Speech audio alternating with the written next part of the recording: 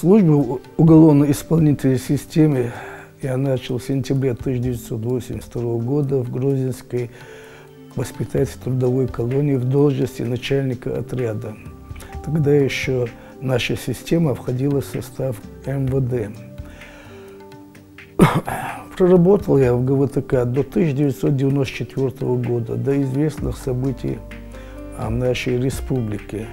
В 1999 году я поступил на службу в Курчелуйскую РОВД и проработал там в должности начальника штаба до 2002 года. В 2006 году я обратился к генерал-майору Ирисану Ализаиндевичу с просьбой восстановить меня на службе. Ализаиндевич был замечательным человеком и талантливым руководителем.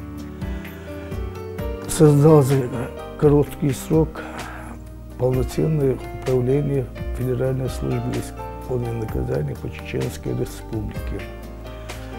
Помню, в 2008 году, да, э, участились переводы в ИК-2, поселок Чернокозово, осужденных из других регионов нашей страны.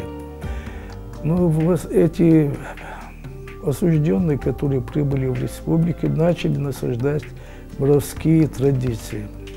Тогда Али Заиндиевич нас, сотрудников воспитательной службы, вызвал к себе и поставил задачу а, сделать основной акцент на воспитательную работу с привлечением духов, представителей духовного управления республики сделать основной акцент на духовно-нравственное воспитание осужденных. Такая работа была проведена. В результате обстановка в учреждениях за короткий срок изменился коренным образом. Осужденные поняли, что воровские традиции, они противоречат основным канонам Корана. Руководство УФСИН России по Чеченской Республике – очень много делает для улучшения материальной базы воспитательной службы. Большое внимание уделяет нравственному материальному обеспечению и материальному положению сотрудников. С 2008 года наша система претерпела большие изменения. В 2009 году я ушел на, службу, на пенсию, а вот сейчас вижу, какие большие изменения. Отрадно отметить, что воспитательный процесс постоянно усовершенствуется, применяются более современные методы работы с учетом технического прогресса.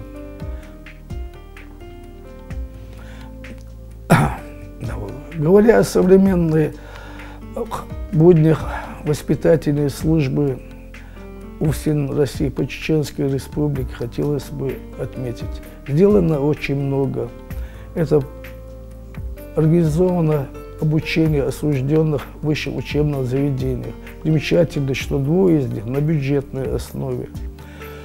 Материальное бытовые обеспечения воспитатель работы с каждым днем все улучшается, совершенствуется. ФКУ ИК-2 в каждом отряде имеется а, обустроенная спортивная площадка. Кроме того, на территории учреждения имеется спортзал.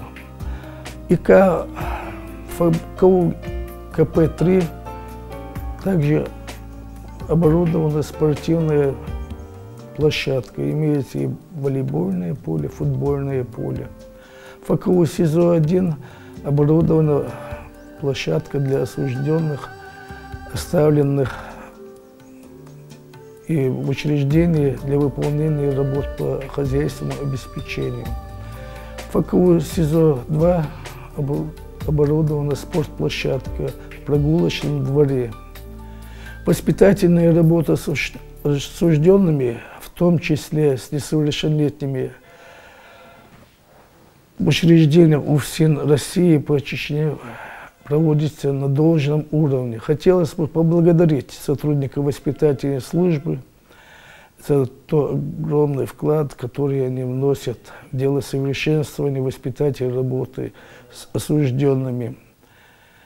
Спасибо большое. Ребята достойно продолжают дело своих предшественников.